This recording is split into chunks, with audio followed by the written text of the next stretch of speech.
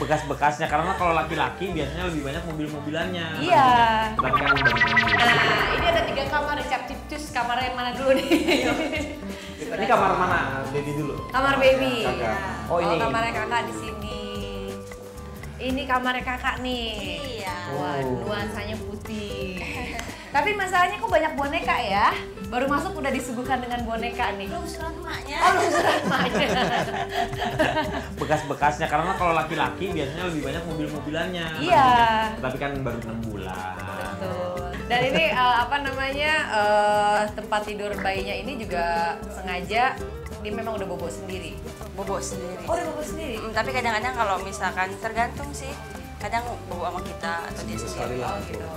Dan tuh Kang lihat Kang koleksi sepatunya.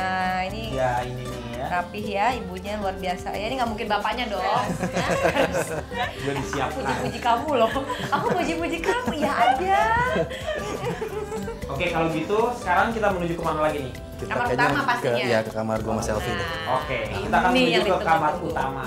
Nah, untuk pemirsa, ini ada info yang sangat menarik, jadi jangan dilewatkan ya.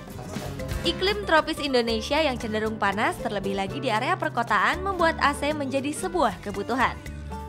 Namun di samping itu, pemakaian AC juga menjadi salah satu penyebab terjadinya pemanasan global. Untuk itu, kita perlu mengurangi atau bahkan menghilangkan sama sekali penggunaan AC. Ada beberapa cara yang bisa dilakukan untuk mengurangi penggunaan AC. Pertama, maksimalkan bukaan dan ventilasi sehingga aliran udara masuk dan keluar menjadi seimbang. Kedua, minimalkan masuknya cahaya matahari siang dengan menggunakan window shade yang akan mengurangi jumlah cahaya yang masuk sehingga dapat meminimalisasi meningkatnya suhu ruangan. Ketiga, buatlah jarak plafon dengan lantai cukup tinggi guna memberikan ruang yang cukup untuk perputaran dan pertukaran udara. Keempat, buat kolam atau taman di area dalam rumah yang dapat membantu menurunkan suhu ruangan. Agar tidak membuat udara dalam ruangan menjadi lembab, usahakan tetap ada sinar matahari yang masuk ke dalam inner core. Salah satu caranya dengan memberi bukaan yang cukup di bagian atap sehingga tetap terjadi pertukaran udara yang baik dari dalam keluar dan sebaliknya.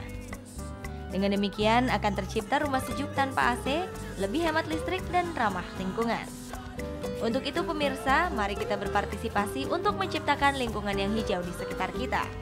Upaya sekecil apa pun dapat mengurangi perubahan iklim dan pemanasan global yang semakin mengancam kelangsungan hidup anak cucu kita di masa datang. BNI Gria Inspiring Green Living. Mari sayangi lingkungan bagi kelangsungan masa depan.